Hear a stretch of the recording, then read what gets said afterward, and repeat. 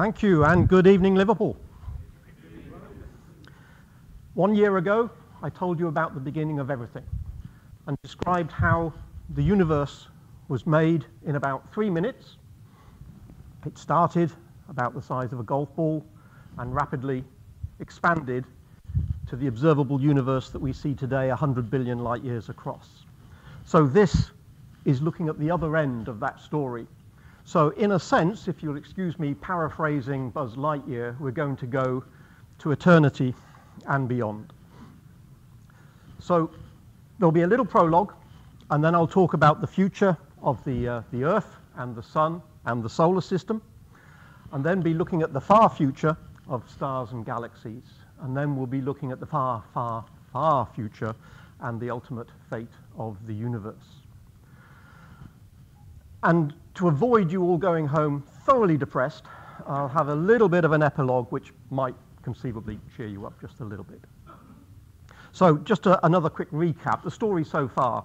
Um, I'm not going to go over everything I said one year ago, but yes, the universe started some 13.8 billion years ago. That's where the story starts effectively.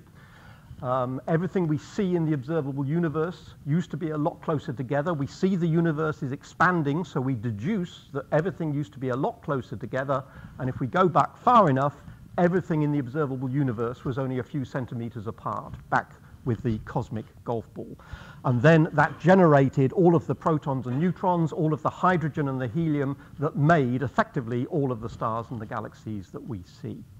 And this story is about the fate of what happens from now onwards.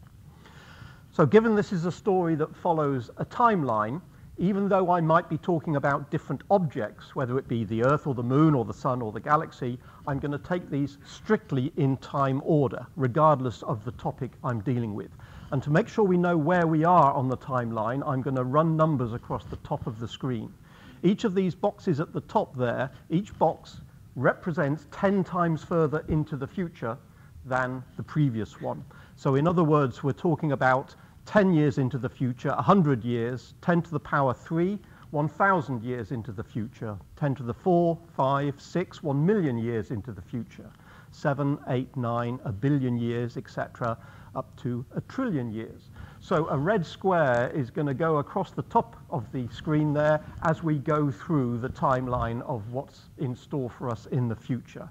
And hopefully those red squares will make it just a little bit easier to keep track of where we are in terms of how far into the future have we gone. Because of course we are going to be talking about millions and billions of years and sometimes it's easy to lose track of where we are. I'm indebted to the work of Adams and Laughlin, who published a paper where they published the timescales on which various astrophysical phenomena are likely to occur. And I've used their paper to try and get my slides in strictly the correct time order. And for anybody that misses something or doesn't follow something, there are printed handouts of the, uh, talk for those who want to follow the slides again.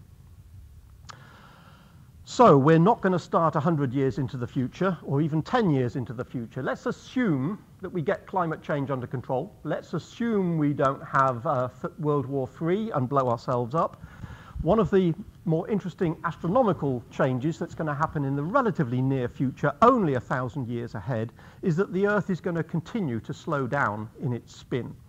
In a separate talk, I talk about how we add leap seconds to our clocks in order to keep the clocks synchronized with the rotation of the Earth. At the moment, we're adding a leap second every few years or so to keep the atomic clocks in sync with the rotation of the Earth. In another thousand or years or so, the Earth will continue to slow down because of the tidal effects of the Moon, and leap seconds would need to be added not every few years, but every few weeks further into the future, we can't say what's going to happen to stars going supernova. We can't predict what is going to happen with any sort of accuracy. We can predict the slowdown of the Earth accurately. We can't predict when a particular star is going to go supernova. But various aspects of what the Earth is doing that we can model relatively accurately and predict what's going to happen. For instance, the spin of the Earth isn't locked in a particular position. At the moment, it's the pole of the Earth is pointing towards near enough the star Polaris, the North Pole. but it precesses, it moves in a large circle, it sweeps out a large circle in the sky every 26,000 years or so. We can work this out from the historical records. Therefore, we can predict that at the moment the pole star on the right-hand side of this diagram there, the pole star is Polaris, but the pole will sweep out this circle over 26,000 years, which means in another 12,000 years or so, the pole star is going to be over here. The nearest bright star to the pole is going to be Vega. That means it's one of the brightest stars in the northern hemisphere. That means basically asking a Boy Scout to point out which way is north is going to be a lot easier in the future because all you have to do is find a really bright star. That's probably Vega. That's north. You don't have to tell them how to find Polaris in the sky. But apart from making it easier for Boy Scouts, what else difference does it make having a pole star that switches? Well, at the moment, we have a pole star Polaris such that we are actually closer to the sun because of the Earth's elliptical orbit in northern winter when the northern hemisphere is pointing away from the sun. But when the pole is pointing in the opposite direction, pointing at Vega, that means we're going to be closest to the sun during northern summer.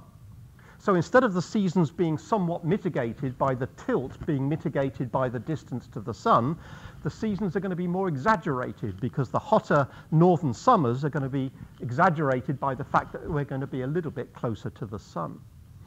Any variations in the Earth's climate, which are a function of either the Earth's spin or the Earth's orbit, are called collectively Milankovitch cycles, and I'm going to mention that once or twice in this talk. Now we're moving 10 to the 5 years into the future, 100,000 years into the future, the Voyager space probes are going to pass some nearby stars. Remember, they were launched back in the 1970s. Uh, Voyager 1 went to Jupiter and Saturn, Voyager 2, Jupiter, Saturn, Uranus, and Neptune. And they've been running for long enough now that they are well on their way to leave the solar system. At the top here, Voyager 1, in another few tens of thousands of years, is going to pass the star system Gliese 445. Voyager 2 is heading off in a different direction, and that's going to pass the star Ross 248. Now, the uh, Pioneer probes were launched a little bit earlier than the Voyager probes, but the way they got a gravity assist from the planets means that they're not traveling as fast. So even though they were launched earlier, they're not going to reach the stars any earlier than the Voyager spacecraft are. Pioneer 10 on the right here is moving out in the direction of Aldebaran, and Pioneer 11 on the left is heading towards the center of the galaxy. So in another 30 or 40,000 years or so, these spacecraft are going to pass through their first extraterrestrial solar system, their first extrasolar system. On a same timescale of 100,000 years or so into the future, we know that ice ages come and go on that sort of scale, repeating cycles of glacial and interglacial, in other words, ice ages and the periods between ice ages. We know from the Earth's records that those tend to occur on timescales of order 100,000 years or so. And we also know that Earth entered, entered an interglacial period relatively recently. So in other words, the next ice age is due on a timescale of 100,000 years or so. That's, this is another manifestation of the Milankovitch cycles that I mentioned a while ago. It's a product of the way the Earth is spinning and the way the Earth is going around the sun.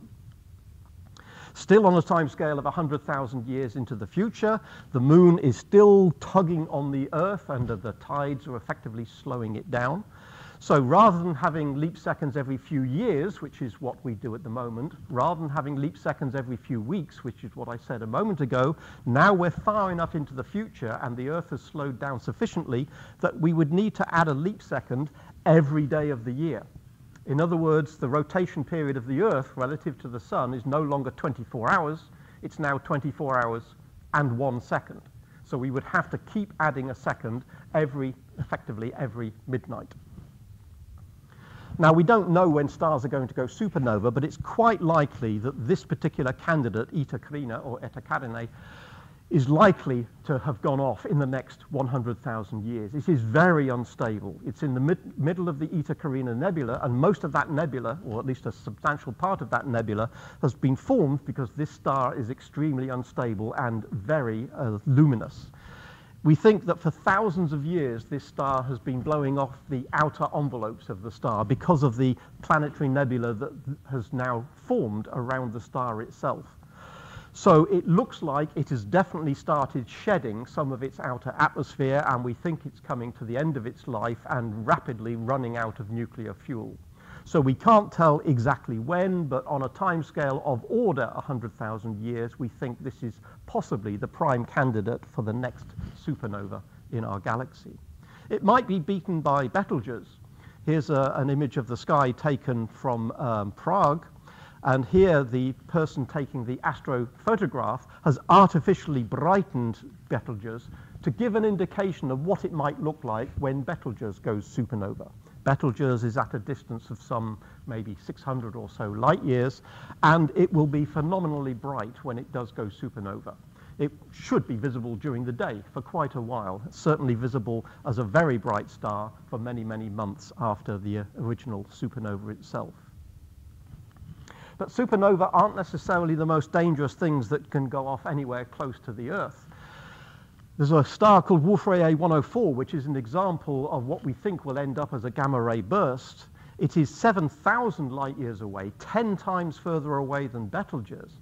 But when this decides to die, it could be even more catastrophic than if Betelgeuse decides to go supernova. And that's because of the jets it produces that its death may result in a radiation burst. These systems, uh, Wolf-Rayet stars and this particular star in particular, has a very rapid rotational system that seems to be producing jets in two directions. And it is thought that if one of those jets, which we're not sure is pointing at Earth or not, but if one of those jets happened to be pointing at Earth when it decides to die, there could be an enormous gamma ray release heading in our direction, and even at a distance of 7,000 light years, that gamma ray burst could be enough to, for instance, evaporate our biosphere and uh, kill just about everything on Earth. Now, it's quite unlikely that the jet is exactly lined up with Earth, but we might catch a glancing blow. If we're lucky, the jet isn't pointing in our direction by a few degrees, and the jet will miss us completely. But there are enough of these things around that we do really have to keep an eye on them. The Gaia spacecraft has been for quite a few years now mapping out how stars are moving around the Milky Way. And it's been mapping out in particular the positions and velocities of millions of stars in our neighborhood even though all of those stars are independently moving around the Milky Way, it just so happens that some of them are going to come close to us, not because they're gravitationally attracted to us, but simply we have our own independent orbits, which are all slightly different as we go around the Milky Way. As a consequence, one of our neighboring stars is going to get uncomfortably close to us in a timescale of approximately 10 to the 6, 1 million years into the future. Gliese 710 is going to get close enough that it will actually enter the Oort cloud, the cloud of icy particles that are gravitationally bound to our sun. And it's going to produce an enormous gravitational disturbance to the Oort cloud, and almost certainly it's going to result of a whole load of new comets coming in from the Oort cloud. At the moment, we get a comet every once in a while that, uh, get, that drops in from this huge distance, but with the presence of another star in our solar system, it's going to perturb the Oort cloud to the point where we can predict that there will probably be naked eye comets every month for a million years or so. It's going to make a hell of a difference to a solar system. And bear in mind, for a little while, whilst uh, we get this sort of close encounter, our solar system will actually have two stars in it, two suns, just like other solar systems we could mention. Not it won't quite look like that, but it's nice to think that we will have two suns at one point. Now, still on a timescale of one million years into the future, this is clearly a picture of Meteor Crater, Arizona. I'm not implying that we can expect an impact like that every million years. There's two reasons for showing this picture.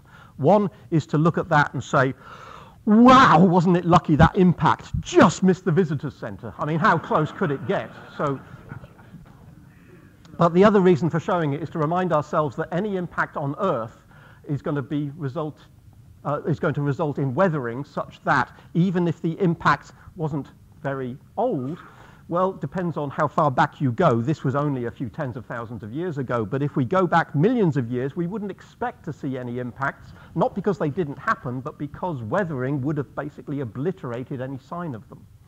So we can only see impacts on Earth that are relatively recent.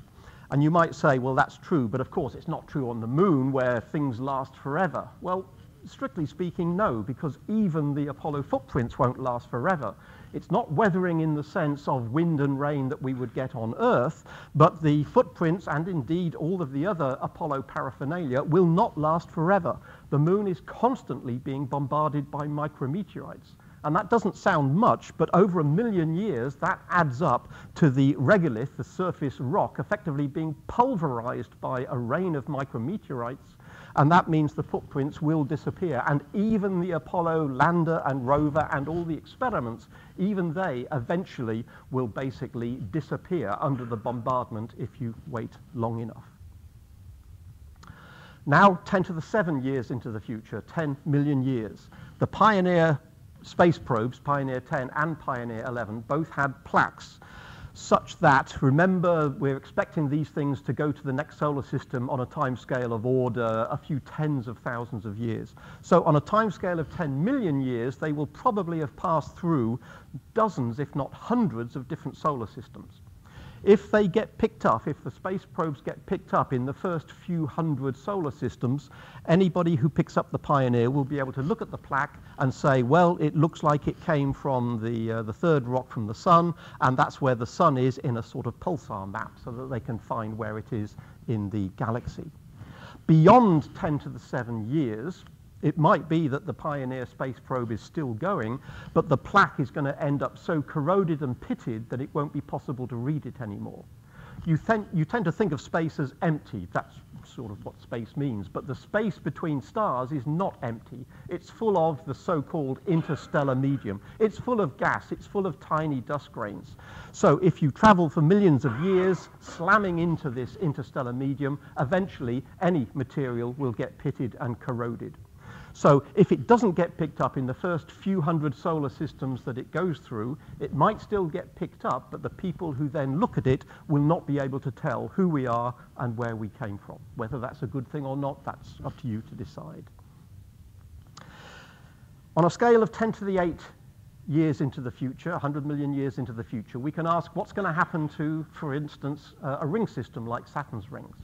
But perhaps it makes more sense first to consider how did Saturn's rings come to be in the first place.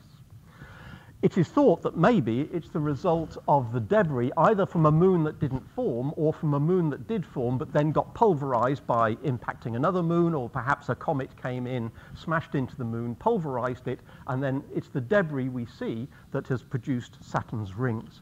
When you look at a moon like that, you might think to yourself, That's no moon, it's a space station because it does bear a striking resemblance to the Death Star, having this enormous crater here. But if we do a simulation, we can say, let's take a moon the size, uh, roughly the size of Mimas, Mimas, let's pulverize it, and then let's see what happens to the debris. You might think, well, it just goes round Saturn as a little cloud of debris for ages and ages and ages. But actually, the simulations show what happens on a time scale. Look at the time scale in the bottom right. After hours or days, a ring system starts to form. In other words, the debris doesn't stay as a small cloud. The debris very rapidly gets spread out into a ring around the planet. And all of the tiny little bits of debris that are assumed to be maybe the size of sand or something like that, each of these tiny particles will be bumping into all of the other ones. So they don't stay in stable orbits, they slowly migrate inwards towards the planet. And that's been happening for millions of years to produce the ring system that we now see. And that means that the process has not stopped. That is an ongoing process. So we happen to see the ring system, if you like, halfway through its life. It's formed a long, long time ago, but all of those particles in Saturn's rings are slowly drifting in towards the planet. And material from the inner part of the ring is basically raining down onto the surface of the planet itself. That means if we were to watch it for another few million or perhaps 100 million years, then basically all the ring material will end up on the surface of Saturn and there will be no rings left. So for those of you who enjoy the view of Saturn, make the most of it. It won't be there forever. One thing we have to remind ourselves about the solar system when we're trying to make predictions about the future is on this sort of timescale, again, of 100 million years into the future, we tend to think of, well, my app tells me where Jupiter is now, and it tells me where Jupiter will be next year. And if I dial the clock back, it can tell me where Jupiter was 2,000 years ago, if I'm interested in the Star of Bethlehem. But we have to remind ourselves that although an orrery or a tellurian makes it look like the solar system is basically just clockwork, whether it's clockwork or motorized, we have to remind ourselves that actually the solar system is chaotic. We cannot predict on large timescales where objects are going to be. We can't even predict on this timescale not only where is Jupiter going to be in the solar system relative to the Earth, we can't even predict which planets are going to be in the solar system. It might be that Jupiter decides to kick one of the planets out. We know that in the past, or at least it's very likely that in the past, the solar system has rearranged itself because of the migration of planets into and out of the solar system in changing their distances to the sun. And on this sort of timescale, that process will continue. So we have to remember the solar system is chaotic, and beyond a certain timescale, we can't predict the future. It's like the weather. We can pretty much say what the weather's going to be tomorrow. No way can we say what the weather's going to be in a month's time. It's the same, same sort of idea. Chaos means that you can make predictions over short time scales, thousands of years, no problem. Even half a million years, you could probably predict when eclipses are going to take place, but you can't predict indefinitely, certainly not on these sorts of time scales. This is a little map of our galaxy, and that's where we are, the sun there. At the moment, we are sitting in between spiral arms. We're not actually embedded in one of the spiral arms of the Milky Way. We are sitting in between two spiral arms in a relatively low density part of the galaxy. As the galaxy rotates, as the sun goes round the center of the galaxy, on a timescale of order 100 million years or so, things are going to change all the stars are going to move around the galaxy, but because of the nature of how spiral arms are formed, it is calculated that we are going to end up in one of those spiral arms. At the moment, we're in between spiral arms where there's a relatively low density of stars. In 100 million years, we're going to end up inside one of those spiral arms where there's going to be a much higher density of stars. In other words, we're going to have a lot more stellar neighbors. At the moment, we haven't got that many stars within 10 light years of us. It is predicted that on this time scale, we'll have a significantly larger number of stars within, let's say, 10 light years of us. So what's the consequence of having lots of stellar neighbors? Well, there are a few consequences, two most important. One, we've already sort of mentioned. Remember when Gliese 710 came close to us? If it comes close, it can disturb the Oort cloud. If it disturbs the Oort cloud, it can produce comets and asteroids, many of which are going to be raining down into the inner solar system.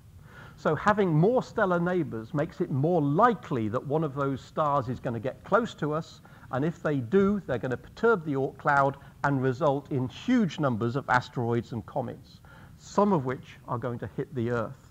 If we look at the historical record and look at the number of extinctions, we see spikes, and we see a few spikes uh, over a time period here of about 500 million years.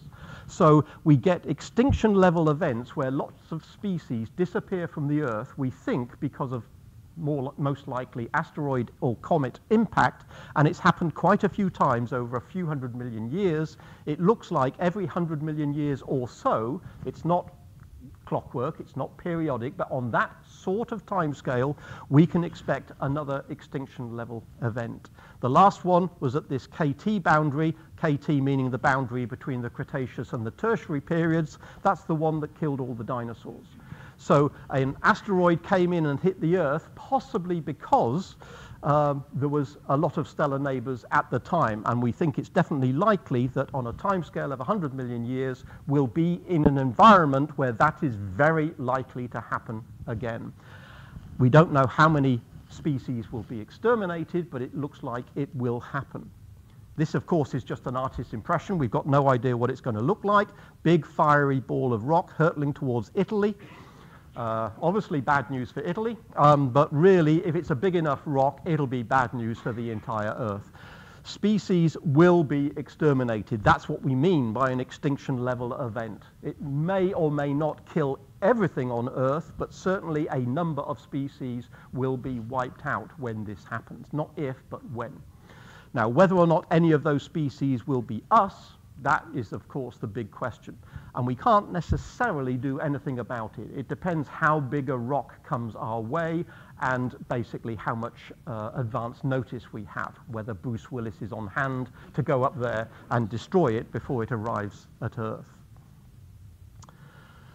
But the second and rather important consequence of having a lot of stellar neighbors, if we've got a lot of stellar neighbors, one of them might go supernova. At the moment, we haven't got any supernova candidates close to us. In other words, there are no really massive stars that seem to be coming towards the end of their life anywhere close to us. When we look at supernova candidates, we're talking about stars that are hundreds of light years away, Betelgeuse, for instance.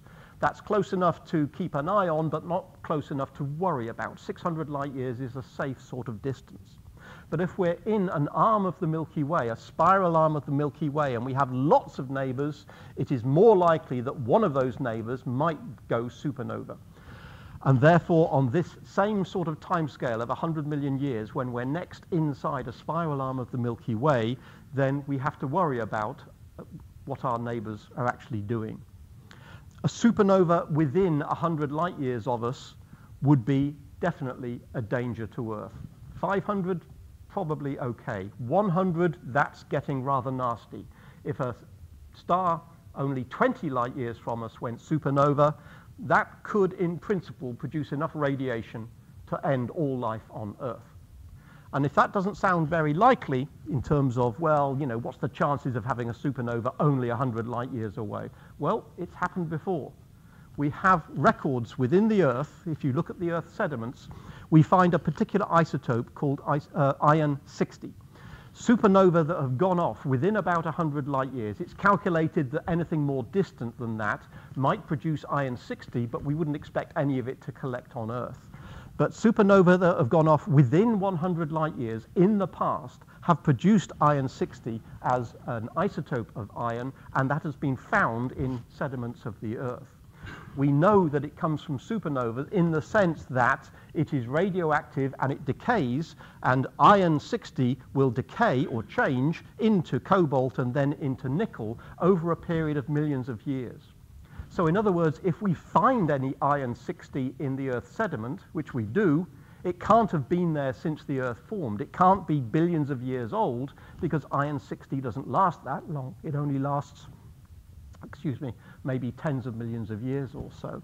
So the fact that we see it in the Earth's sediment tells us that supernova have gone off relatively close to us in order to give us a detectable signal, and the fact that we see the iron 60 means that it must have been relatively recent on a time scale of certainly much less than a billion years. It is not primordial. It wasn't there when the Earth was formed.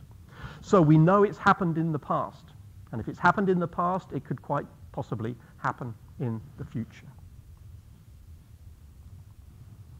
We're now at 10 to 8 years into the future, and we're going back to look at the Earth again. Remember, all of this time, the moon has been tugging on the Earth with its tides, raising tides on the Earth and slowing the Earth down. So the moon is effectively robbing the Earth of its angular momentum. The spin of the Earth is slowing, and the moon is taking away that angular momentum, and the size of the moon's orbit is increasing. So the moon is getting further away from the Earth. The length of the day, remember I said leap seconds to keep the clock synchronized? We have to throw away the whole idea of leap seconds at this point. There's no way leap seconds will do the job. The rotation period of the Earth has now gone up from 24 hours to 25 hours. Forget leap seconds. This is the time to decimalize the clocks and say, to hell with 24. That's uh, it served its purpose. Now we go over to, what, 100 quarter hours or something during a day. The distance from the Earth to the Moon increases as the Earth slows down and has been doing for 100 million years. And what, there are, again, a couple of consequences of what happens when the Moon gets a long way from the Earth. One is the very sad result that we'll no longer see a total eclipse. At the moment, we can see a total eclipse because of the coincidence that the disk of the moon, the apparent size of the moon in the sky, is just enough occasionally to cover the disk of the sun. Sometimes the moon is a little bit too far away, and we just get an annular eclipse where the ring of fire shows around the edge. But quite often, the moon is close enough to cover the disk of the sun when the two are aligned. But if the moon is further away, which it will be in another 10 to the 9 or so years, the moon will be so far away it will not ever again be able to cover the disk of the sun. So we'll still get partial eclipses, and we could still get annular eclipses where the moon, uh, where the sun peeks round the edge of the moon, but we will never again be able to view a solar eclipse, a total eclipse of the sun. So again, if that's on anybody's bucket list, get in now before this happens. Second and perhaps more serious consequence of the moon moving away from the Earth, apart from the fact we no longer get total eclipses of the sun, the moon has a very nice stabilizing influence on how the Earth behaves. The Earth has a tilt of approximately 23 and a half degrees or so, the tilt or obliquity of the Earth. And historically, that tilt hasn't changed much. Records tell us that the tilt of the Earth has been about 23 and a half degrees, give or take one degree, for a long, long time. The little cartoon on the left shows you the sort of variation of what the Earth's tilt has done. It's another Milankovitch cycle. This is a variation that occurs on timescales of order 40,000 years or so. But if the moon gets too far away, the moon will not be able to stabilize the Earth's axis. At the moment, the Earth's axis is effectively fixed because the angular momentum of the Earth and the Moon are related to each other. They are interacting, if you like. If the Moon is so far away it's no longer interacting strongly with the Earth, then the Earth's axis can do what it likes. So if the Moon, it's been calculated, is some 25% further away, then it's thought that the tilt of the Earth could change totally erratically and cause wild changes in climate. In other words, the 23 degrees is a result of having a big moon close by. Take the moon away, that tilt could go to zero and the axis is vertical. It could even go horizontal and have an axis that points towards the sun. So almost anything can happen when the moon gets too far away from the Earth to have a stabilizing influence on its axis. So again, there will be wild changes to climate, regardless of what mankind is doing in terms of climate change. We have much more severe challenges ahead if you go into the far, far future. I said that when we look at uh, Pioneer, it's got a plaque on it, and in another 10 to the 7 years or so, that plaque is going to be unreadable because the plaque is ploughing its way through the interstellar medium, and it's going to get corroded and pitted by the passage of the plaque through basically a very large amount of dust. It's like the opposite of a meteor strike. Uh, instead of the meteor strike raining down on Earth, these little bits of dust are just sitting there, and Pioneer 10 is going ploughing into them. Voyager's same sort of idea, but notice we're now talking about much further into the future. It's thought that Voyager's golden disk will last more than just 10 to the 7 years. It'll last 10 to the 9 years. How come Voyager's disk is going to last at least, we hope, 100 times longer? It's been calculated that the disk, the phonograph, should be readable even a billion years into the future. In other words, the metals have been chosen such that this is a stable configuration and the record should be readable even a billion years into the future. How come this is stable for a billion years, whereas Pioneer's plaque was corroded after only 10 to the 7 years? Well, that's because the record is protected behind a cover, and the cover is going to take the full impact and be pitted and corroded. So the golden disk is being protected, which is fantastic. However, the cover contains the instructions to tell you how to read the disk. So we know what a phonograph is, we know what vinyl is, we know what an LP is, but is there any guarantee that any of the civilizations that might pick up this also know what a phonograph is? So the instructions are there. Take a stylus, put it in, spin it at this speed, and look at the vibrations. That will give you the music or the greetings and all the other recordings, etc. And remember that, again, 10 to the 9, if Voyager passes through a solar system every few tens of thousands of years or so, after a billion years, Voyager will have passed through thousands upon thousands of solar systems. It will have plenty of opportunity to get picked up by some extraterrestrial civilization should they exist. If it gets picked up within a billion years, they might be able to read the instructions and then they'll get the messages from Earth. If nobody picks this up before one billion years into the future, if Voyager goes on for more than a billion years, then it might be that uh, an intelligent civilization that picks up Voyager won't be able to read the disk. You might hope that if you're intelligent enough to understand what Voyager is and able to capture it, maybe they should be intelligent enough to be able to figure out how to read the phonograph, even if they don't have the instructions on the cover plate there. On a time scale still of about a billion years into the future, the sun is not yet a red giant, but it's getting there. It's heading in that direction. The fuel hasn't run out, but the sun is starting to change. The sun's luminosity will increase as it evolves towards the red giant phase. It's been calculated that the luminosity of the sun would go up some 10% every billion years. That sounds quite slow, but if we're talking about what's going to happen in billions of years to come, going up by 10%, well, that's a lot. Going up by 20%, that's a problem. Going up by 30%, it's not long before you realize that the total energy reaching the Earth is just too high to be sustainable. It won't be long before a greenhouse effect kicks in and it takes the surface of the Earth up to a fairly balmy 80 or so Celsius. So in other words, it won't be long before the oceans boil dry. What we're going to do about that, it's again not obvious how you deal with that. Uh, perhaps the option is, well, leave the Earth and come back when it's cooled off a bit. Um, either that or you just find another planet to go visit and find another Earth Mark II.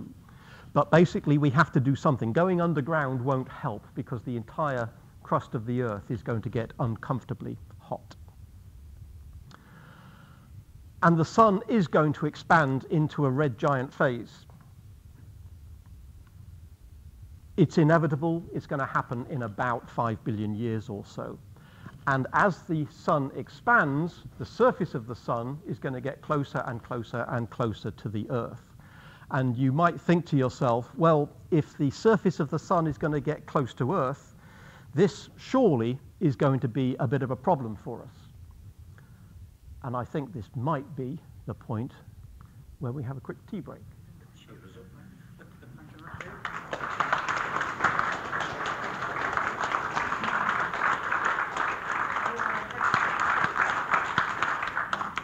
Welcome back from the tea break. Uh, we left it on a cliffhanger saying that the sun is going to expand in a few billion years or so. The sun is going to go through a red giant phase and will expand, and it's been calculated that the size that we would expect from the sun by looking at other stars of a similar mass, the size of the sun will end up approximately the same as the orbit of the Earth, implying that the Earth is going to be engulfed by the sun. However, it might not, because yes, the sun is going to expand, but it won't necessarily engulf the Earth, even if we calculate that it's probably going to be the size of the Earth's orbit, because the Earth isn't going to be there anymore. As the sun expands, it has a very strong solar wind. A lot of material is going to escape from the surface of the sun. The sun is going to lose mass. And if you have a smaller mass in the middle of the solar system, the orbits of all the planets are going to increase. So this little cartoon on the left shows what might happen. Yes, the sun is going to get larger, but as the sun gets larger, the Earth moves away from the sun. So eventually the sun will indeed, very probably, engulf the orbit of the Earth. But that's where the Earth used to be. The Earth will by then possibly be roughly out where Mars is now. So the Earth won't necessarily be engulfed by the Sun. It's a difficult calculation to actually do to figure out what's actually going to happen to the solar system. But the Earth might survive. Let's assume it does, just for the sake of argument. If it survives the sun going through a red giant phase, once the sun has gone through its red giant phase, the core of the sun will basically end up as a, white dwarf. The outer part of the sun's atmosphere will be blown away to make a beautiful planetary nebula, and what's left will be a white dwarf, mainly made of carbon. We're not sure what the pressure will be inside, but the pressure might be high enough that the carbon is actually diamond. So who knows, the sun might actually be an enormous diamond in a timescale of about 10 to the 10 years or so. But if the Earth survives the sun going through a red giant, it will have another problem to contend with. And that is, at the moment, the Earth's magnetic field is generated by the fact that the Earth's core is partially liquid. And if you have a large metal liquid, a large liquid metal core spinning, you get a dynamo which generates a magnetic field. But the core of the Earth is going to solidify on this sort of time scale. After the sun has gone through its red giant phase, or on a similar time scale, the Earth's core is going to solidify. The Earth's core is not being kept warm by the sun. The temperature of the Earth's core has got essentially nothing to do with the sun. The Earth's core is molten because of radioactive decay of the elements in the Earth's core. And this will continue for many billions of years. But eventually, the, the, heat produced by that radioactive decay will not be enough to keep the liquid core liquid, and the liquid core will solidify. As soon as it does that, we no longer have a dynamo, we no longer have a magnetic field. If we no longer have a magnetic field, we no longer have protection against radiation, not necessarily from the sun, but radiation from cosmic rays, which are significant. It's thought that maybe this is what happened to Mars. Mars is a smaller planet. It will have lost its temperature, it would have cooled down faster, it would have lost its magnetic field a long time ago because the core of Mars would have solidified a long time ago. And when that happened, Mars would have lost its magnetic field and would have probably lost its atmosphere because of radiation effectively stripping the atmosphere away.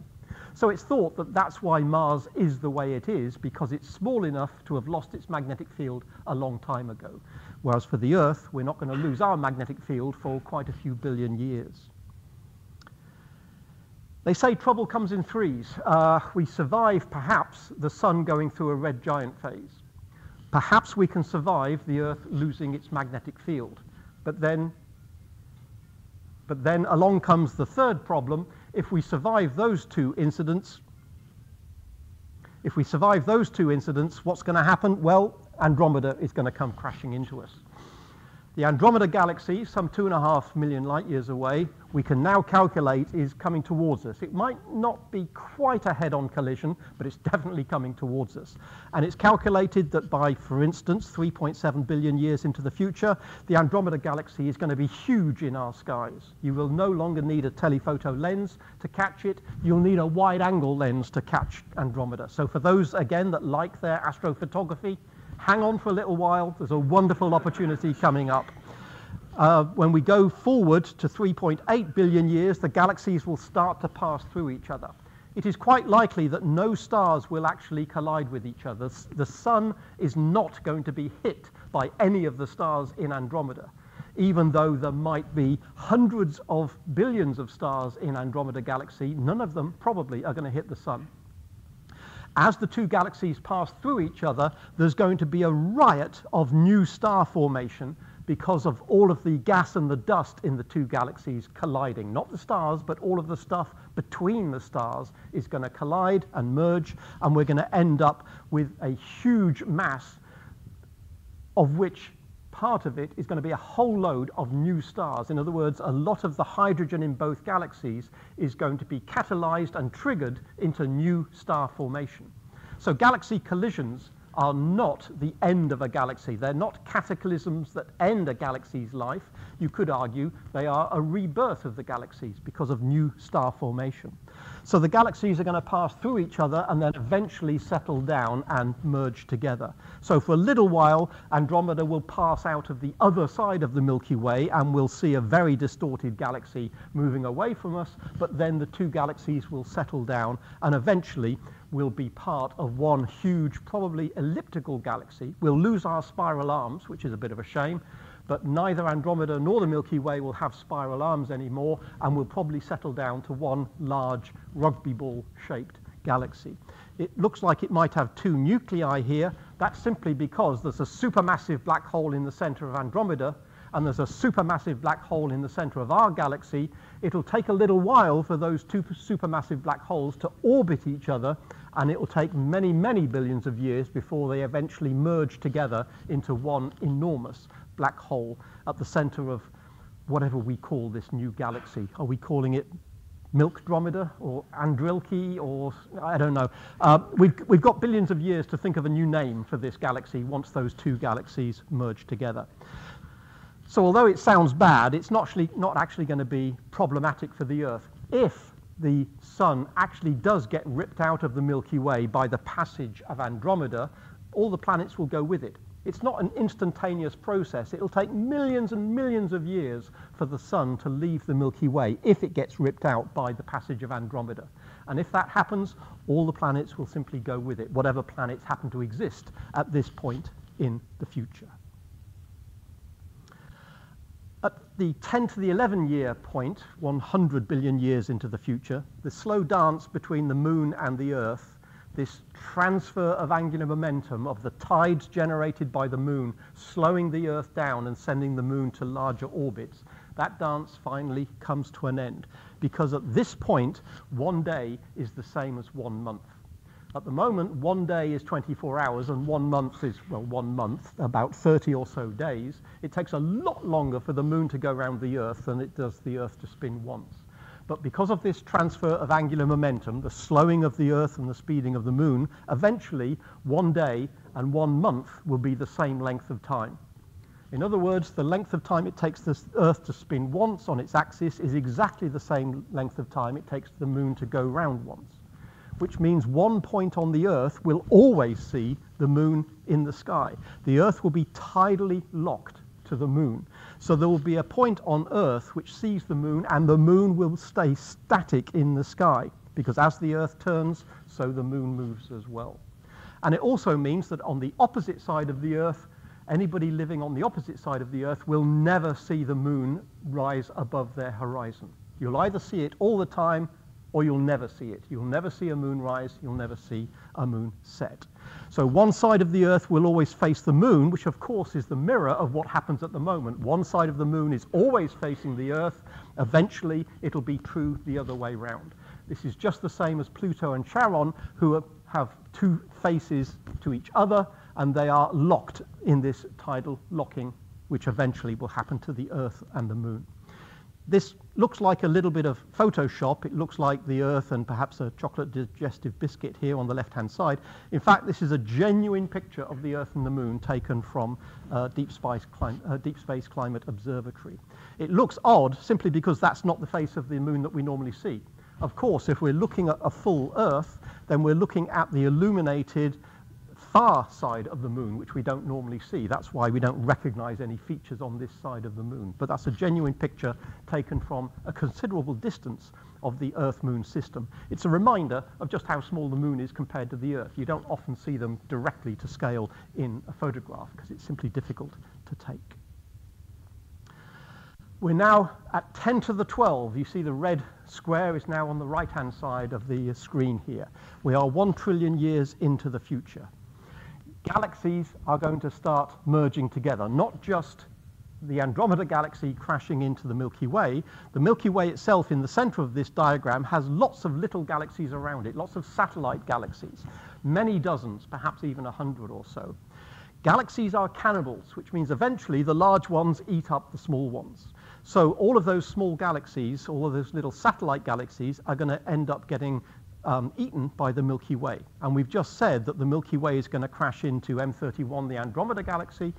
M33, the triangulum, is going to watch for a little while, but eventually it's going to get sucked in as well. And basically, all of the hundred or so galaxies, as part of the so called local group, will end up merging together I've got a little icon there which looks like a spiral galaxy. It won't end up as a spiral galaxy. It'll be one mega galaxy which basically hoovers up all of the objects inside the local group. What's going to happen to galaxies on a larger scale? What's going to happen to galaxies at greater distances? Well, we know that at the moment it's possible to image galaxies, even, for instance, those galaxies that are receding from us at twice the speed of light, it's still possible to image those galaxies. This is something I did during the COVID lockdown in 2020. With a camera, without a telescope, I imaged uh, a very distant galaxy which is receding from us at about twice the speed of light. It's quite amazing to think that that's possible to do with a camera from your back garden, but yes, it is possible. Of course, very distant galaxies, some, those taken, for instance, with the Hubble Deep Field, some of these galaxies are relatively close to us, and some of these galaxies are at huge distances. In this particular picture, a random patch of sky that was imaged by Hubble back in the, uh, the 1990s, we happen to have caught, uh, I think, a couple of stars or so that happen to be inside our own galaxy, but most of the blobs you can see there are more distant galaxies. But because the universe is expanding, and as far as we can tell, it will continue to expand, possibly indefinitely, even though at the moment it's possible to image perhaps a trillion galaxies, not with one particular image, but we think there are something like a trillion galaxies in the observable universe, some of which have been captured here by Hubble. Because the universe is expanding, at the moment it's possible to image galaxies that are receding from us at two times or three times or four times the speed of light. But there will come a time on this time scale of 10 to the 12 into the future where the universe has expanded so much that it will be impossible to image, to see any galaxies beyond our own. So it's sobering to realize that we are in a privileged position at the moment to be able to build a telescope to look out into the universe and ask the question, what's out there beyond our own star system? And the answer is trillions of galaxies. But if a civilization comes along in 10 to the 12 years' time and builds themselves a fantastic telescope and does the same thing, they will see nothing beyond their own galaxy.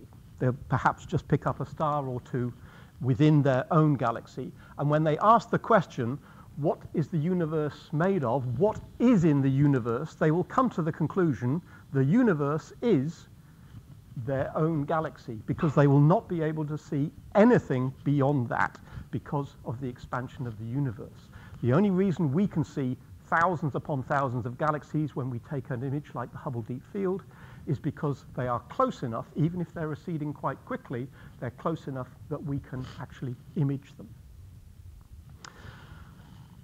So I said back in the beginning of everything, when I tried to give a brief description of the very early history of the universe, it took approximately three minutes to make all the hydrogen. Basically, you borrow from nothing. That's quite okay to borrow something from nothing. That's perfectly okay by the laws of quantum mechanics. You make lots of stuff, you make quarks, and you use those quarks to make hydrogen. And by the time three minutes are up, you've made all the hydrogen that the universe needs. And that hydrogen gets eventually fused in stars to make helium and then carbon, nitrogen, oxygen, sulfur, phosphorus, everything we need after a trillion years or so, it's starting to get used up. Only a finite amount was made for a given finite volume of the universe. And so, at some point, there will be no new star formation. Now, this is a slight aside. This is a hypothesis. Some people have said, yes, there'll be no new star formation because the hydrogen will be used up. But some people have said, well, are you sure you need hydrogen to make stars? Is it not possible to make stars out of something heavier? Could you not make stars out of heavier elements rather than start at the beginning of the periodic table with hydrogen and then build up the heavier elements? Is it possible to start with something heavier? And some people have calculated maybe it's possible to build something in which you have nuclear reactions, nuclear fusion reactions at the core of the star, but the surface temperature's much lower than you would expect from stars burning hydrogen. In other words, a red giant might have a surface temperature of 3,000 Kelvin or so. It's been hypothesized that maybe you can make stars with a surface temperature 10 times less. Maybe you could have a surface temperature of only a few hundred Kelvin. Maybe you could have a surface temperature of zero centigrade. Maybe you can build yourself a star with fusion reactions at the core but ice in the upper atmosphere. Frozen stars. Now, no, no, no, no, no. Not, not the Disney version of frozen stars. If that's the picture you've got in your head, let it go, because what I'm, thank you, uh, what I'm talking about is nuclear reactions, but very low surface temperatures. Now, this is entirely a hypothesis A lot of people say this is rubbish, but it's an interesting idea that you don't need hydrogen to make stars. I think 99% of astrophysicists say you quite definitely need hydrogen to make stars. So if you are going to run out of hydrogen, that is going to be a problem. And given that we've reached the right-hand end of this, it's not quite the end of the talk, but we do have to just say to ourselves, well, regardless of what's happening on a small scale, what's happening to the universe in the largest possible sense? What's the expansion of the universe look like when we're talking about a trillion years into the future? Well, the answer is we don't know, but we've got a pretty good idea. This is the size of the universe on the vertical scale, and time scale is running across there with us here as now. So let me just remind you that now is where we are. Relative scale means simply pick two galaxies a long way away and take that as your yardstick of one, and we're just interested in how much the universe expands relative to that. You can see that there are various colored lines there, four different colored lines. Each colored line is a model of how we think the expansion of the universe changes with time according to how much stuff is in the universe. So each of those colored lines you notice has a different starting point. How old is the universe? Well, that depends on what's in the universe. We look out into the universe, we can estimate how much matter and energy is out there, and then we can perhaps decide which particular colored line we're actually sitting on. We thought a little while ago, maybe we were sitting on the orange line. If there's a huge amount of mass out there, let's not worry about what the units are, but if there's a huge amount of mass out there in the universe, then there would be so much matter, gravity would be able to halt the expansion, stop it, and start to contract the universe. So the scale of the universe would go up for a while, but eventually would turn around and come back down again, and the universe will end up zero size in a big crunch many, many billions of years into the future. That would be the case if the universe had a very large amount of matter in it but we don't think it does. The best estimates we can make by looking out into the universe and counting stars and counting galaxies and taking into account this mysterious dark matter that's out there. A little while ago, we thought perhaps we were on the green line, which means it's expanding but starting to slow down. You can see the slope is just starting to flatten off a little bit. So the universe would continue to expand, but eventually gravity would put the brakes on and the expansion would get slower and slower and slower. But in the last few decades, we've come to the conclusion that that closed universe is not what we've, what, not the universe we're living in. We think that what's actually going on is we are living in the universe corresponding to the red line. The best estimate we've got of how much stuff there is out there, how much matter, how much energy, implies that we're on the red line. And look at the red line. Not only is the universe continuing to expand, look at the slope. It's getting steeper and steeper and steeper. So it's not expanding and slowing down as gravity is putting the brakes on. Quite the opposite. It's expanding and accelerating for reasons we do not understand. We can give it a name. We can say, ah, the reason for that is dark energy. That tells us nothing about the reason. It just gives it a name. Something is making the universe expand faster and faster and faster. And as far as we can tell, it will continue to do so. That is simply a statement of our ignorance of what's causing it in the first place and not knowing what it's going to do in the future. But for the benefit of the rest of this talk, I'm going to assume that the universe simply continues expanding forever. I think we've categorically said it's not this universe. You could argue, is it the green or the blue or the red? Let's assume it's just the red, and the universe will go on expanding forever. In order that I'm not here till midnight, I've changed the numbers at the top here. So I'm not going to go up by a factor of 10 in every box. I'm going up by a factor of a million in every box. I'm going up by 10 to the power 6 each time. Otherwise, as I say, we'd be here forever. So I don't know what we call these things. Is that a zillion years? Is that a gazillion? I don't know what the actual names of these years are. We're just going to take it as 10 to the power, a number that's getting ridiculously big. So where did we get to? We said, before we had this little aside, that the universe made all of the hydrogen in three minutes. But after a trillion years or so, the hydrogen is starting to run out. Now, some stars can last an awful long time. Our sun might live for 10 billion years. Some stars will live for much longer than that. Some stars will live for trillions of years. But they don't live forever. So if the hydrogen is running out, what does that mean?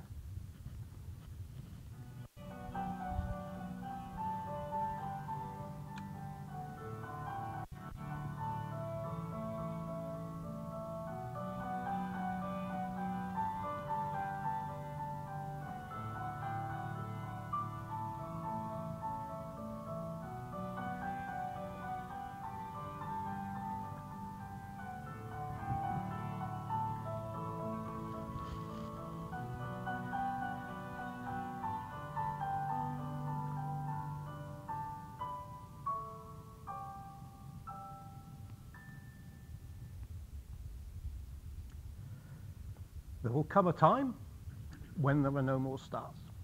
There's no more starlight. The age of starlight will come to an end because all the fuel has run out and eventually the last star will die. The stars themselves are still there, they're just not shining. In other words, we end up with the husks of all of the dead stars, still orbiting in their galaxies for a while. In other words, we're still going to have white dwarfs like our sun will become. We're still going to have neutron stars, and we're still going to have black holes. But they won't be shining. White dwarfs might be hot for a little while until they've cooled off, but there's no nuclear reactions at the core producing the energy to allow them to shine. Neutron stars, the same. They're just collections of neutrons. They are not shining. And black holes, of course, are black holes. Nothing is coming from the inside of a black hole. White dwarfs are only white because they start hot, and they start hot, but they will cool off. No nuclear reactions, so there's nothing to keep them hot, so they start at many thousands of Kelvin, but given a short enough length of time, very short on a time scale of 20 to 24 years, they will cool down, and eventually they just become black dwarfs. Given that they have a large proportion of carbon, probably by the time they've got to that part of their lives, they're basically just large spheres of black carbon. That's all they are. Stars will be ejected from the galaxy. One of two things will happen. They'll either be ejected from their host galaxy or possibly gobbled up by the supermassive black hole that's sitting at the center of their host galaxy. That depends on exactly where they are and how they're interacting with other stars as they go around the, uh, the central supermassive black hole. It is thought that matter will be funneled into that supermassive black hole at the core of the galaxy by magnetic fields. For instance, magnetic fields of a particular galaxy, it happens to be NGC 1097 for those that like NGC numbers, those magnetic fields have actually been mapped out by the Stratospheric Observatory for Infrared Astronomy. That's the big telescope in the back end of a 747. It's been recently decommissioned, so watch out on eBay. You might be able to buy this particular telescope after a little while. It's basically a relatively expensive thing to run, and it's been argued that you don't need an infrared telescope anymore flying above the atmosphere when you've got things like the James Webb, for instance. So it's thought that these magnetic fields in this particular galaxy are similar to the magnetic fields in other galaxies, and basically matter gets funneled by these magnetic field lines and end up getting funneled into the supermassive black hole at the core.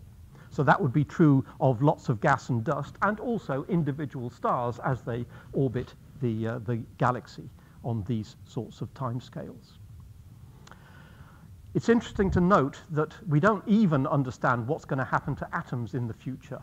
On a timescale of order 10 to the power 30 something, we think there might be changes in hand we know that at the moment atoms comprise a positively charged nucleus made up of protons and neutrons and a whole load of negatively charged electrons buzzing around. But it is thought that protons might not be stable. They look stable at the moment, but maybe on these timescales, protons are not stable. It is possible that protons decay, uh, in which case every atom in the universe will fall to pieces.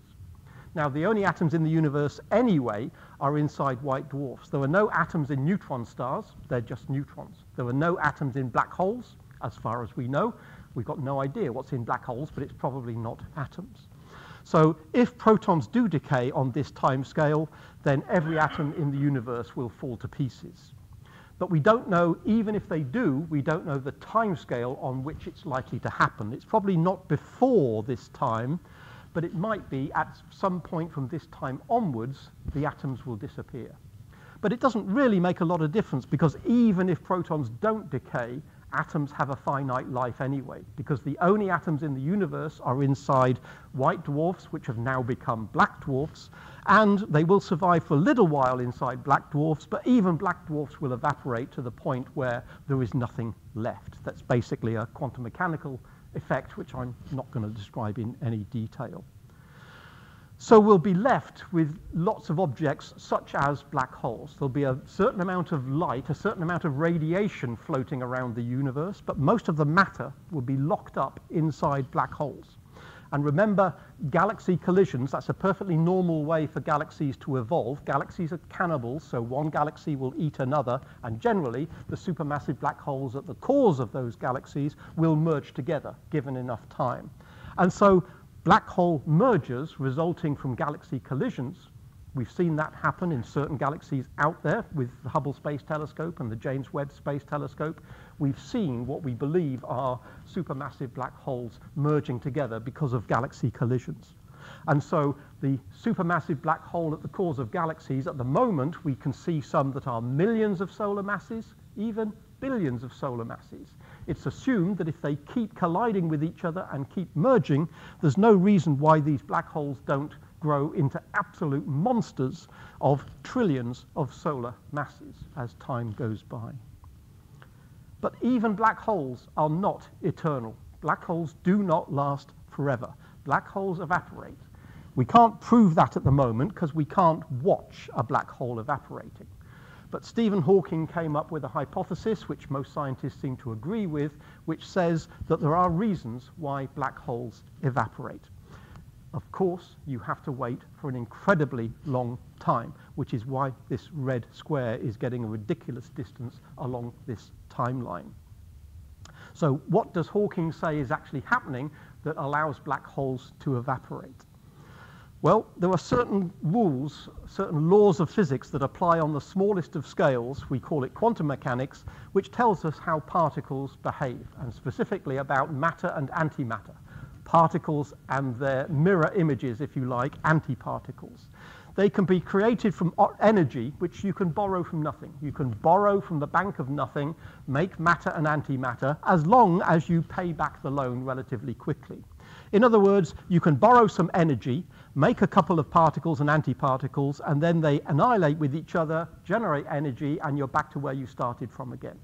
This process, borrow some energy, make matter and antimatter, let them annihilate, back comes the energy again. That process, as far as we can tell, is happening all the time. And the question that Hawking asked himself is, well, if that's happening all the time, what if it happened close to a black hole? In other words, if we think about particle-antiparticle creation just outside the event horizon of a black hole, imagine that's the event horizon, so the black hole is inside that circle, what if you borrow energy from nothing and make some stuff and a particle and an antiparticle are generated, one of them falls into the black hole, but the other one doesn't. It looks like something has come out of the black hole because something now can't disappear. It can't annihilate with its partner because its partner is no longer accessible because the partner is now inside the black hole. So when you do the maths, it looks like something has left the black hole. It's actually coming from just outside the event horizon, but you can treat it as if the black hole has radiated something, whether it be particles or whether it be a certain amount of energy. And the net flux of particles radiated from the event horizon of a black hole is now called Hawking radiation. Hawking proposed it. A lot of scientists think it must happen. No proof. We haven't seen it, but it seems to explain a lot about how black holes behave. The radiation increases with decreasing mass. In other words, very large black holes don't radiate much. Very small black holes radiate substantial amounts of energy. So small black holes evaporate faster than larger ones. So if you watch a black hole evaporating, to start with, it seems to be evaporating very, very slowly and slowly losing mass. But as its mass gets smaller and smaller and smaller, the radiation gets faster and faster and faster. So the radiation is initially very sluggish, but it's not too long before the black hole completely disappears in a flash of radiation as it disappears to microscopic sizes. And we think that happens for every black hole. Yes, at different rates depending on the sizes, even supermassive black holes, even supermassive black holes with billions of solar masses, with trillions of solar masses, they will take an awful long time because the radiation is so weak to start with.